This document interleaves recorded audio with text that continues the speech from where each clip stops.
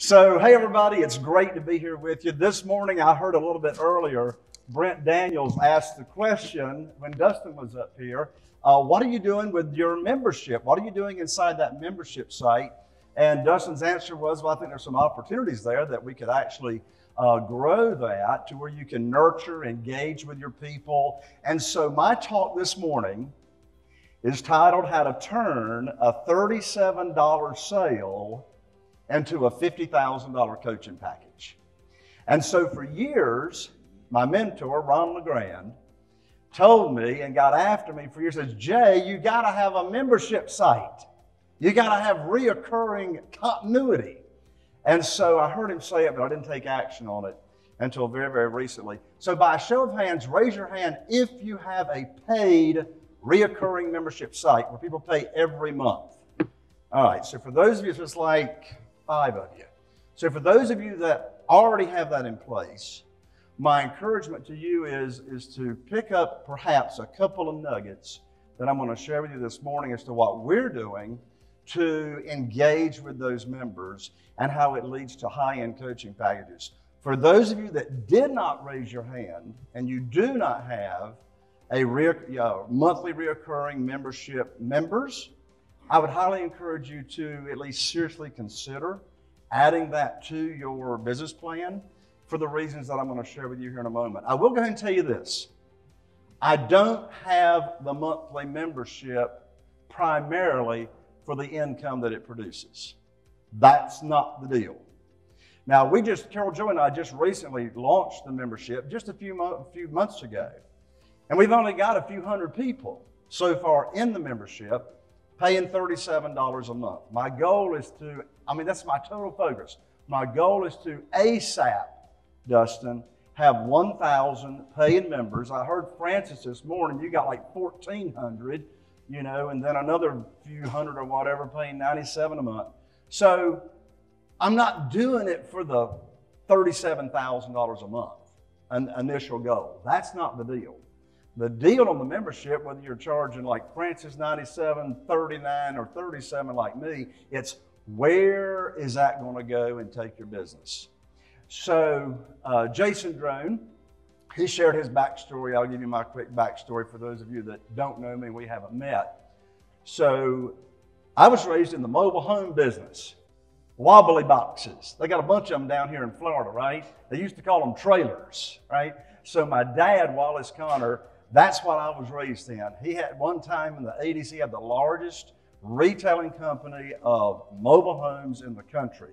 So I was raised around this uh, service and product of providing affordable housing to people. Well, come along about um, 2002, uh, the consumer finance went away pretty much. 97% of the consumer finance went away for the product of mobile homes.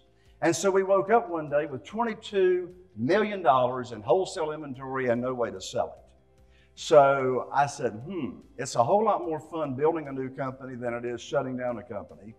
So I knew, and I'd known for years, if Carol Joy and I ever got out of the mobile home business, I wanted to get into single family houses. So in 2003, we, I, I, didn't go to a seminar or anything. I just read some books, used my common sense from mobile home experience, and I looked in the Homes magazine. Now, Dustin, you're not old enough to remember when realtors actually had monthly homes magazines, and they would put their houses every month in the monthly local magazine. So I looked for the ugliest, nastiest foreclosure I could find, and Carol Joy and my dad say, I found it. So it'd been on the market for like nine months, over 60 showings. I bought that house. Now, this was a time when you could fog a mirror and get unsecured lines of credit at the bank.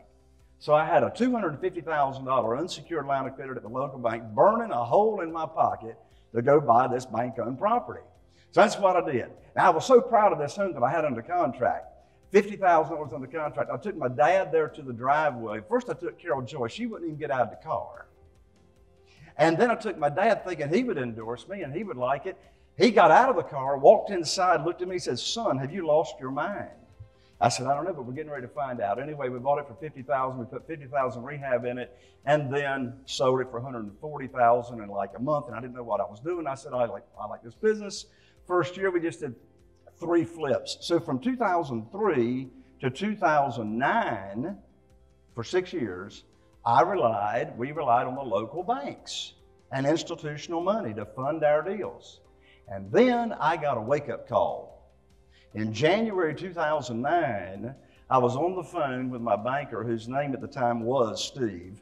The operative word in that sentence is was. He was my banker. And I'd had this conversation with Steve many, many times over the past six years. I said, Steve, I got two houses under contract. They represent over $100,000 in profit. I told him where they were located, the after repaired value, the money needed to fund the deal, and the closing date. And Steve goes quiet on the other end of the phone, which is never a good sign when your banker or your significant other goes quiet. Steve finally cleared his throat. He says, Jay, I'm sorry, but the bank has closed your line of credit. And uh, we had a perfect credit score. We'd had a great relationship for six years with Steve, and now I'm cut off and no way to fund my deals. I then woke up. I mean, we're in a very, very small town, 40,000 people is our total target market. And I learned very, very quickly that, oh, not only us, but the rest of the world has gotten cut off 2008, 2009. So I knew there had to be a better way to fund our deals. So I called my friend Jeff, who lived in Greensboro, North Carolina at the time. And I said, Jeff, he's a real estate investor. I said, Jeff, I said, I just got cut off from the banks. He said, Welcome to the club. They just cut me off. I said, What are we going to do? He said, Well, there's this guy by the name of Ron LeGrand in Jacksonville, Florida that can teach us how to get private money to fund our deals. I said, What's private money? He says, I don't know, but he says we can get a lot of it.